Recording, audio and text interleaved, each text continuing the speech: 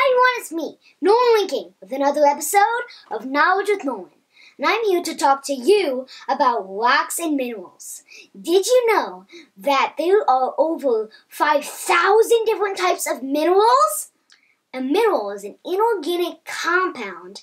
So a compound is two things put together, right?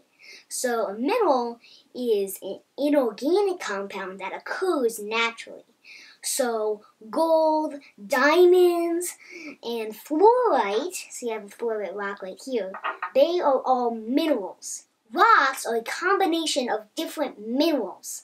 So there are three types of rocks, igneous, sedimentary, and metamorphic.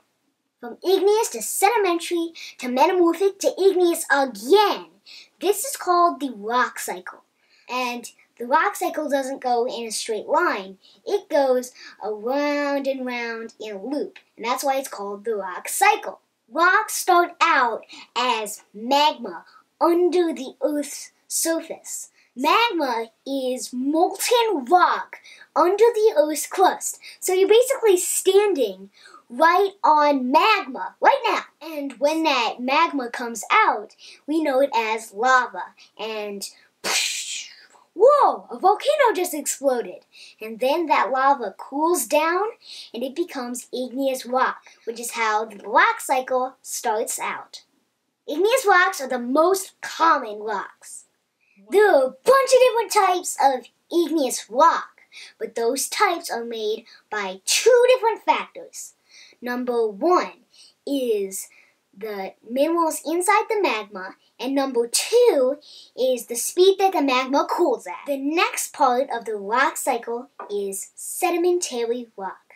This sedimentary rock is an example that I got from my backyard. And the sedimentary rock is basically tiny little parts left over from the igneous rock that get squeezed together over time that makes the sedimentary rock. Sedimentary is really cool because it kind of looks like it's striped and it looks just like a nice little natural pattern. And that's my favorite part about these amazing rocks. The next part of the rock cycle is metamorphic rocks. And metamorphic means change. Those metamorphic rocks are made by tectonic plates moving and crashing into each other which changes the existing rock, the existing sedimentary rock, into a new type of rock, which is the metamorphic rock. So just for example, let's take my two sedimentary rocks here and when that creates heat and pressure, which makes the metamorphic rock.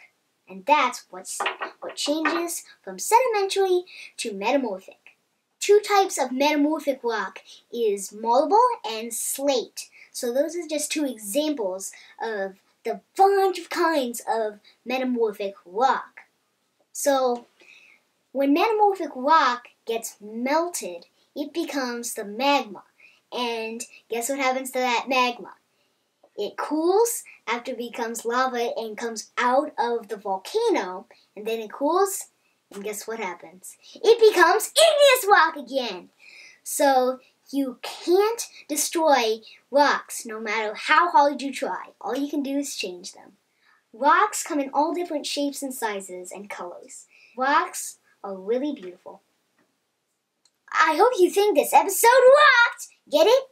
Thanks for watching, and see you guys next time in another episode of Knowledge with Nolan. Bye!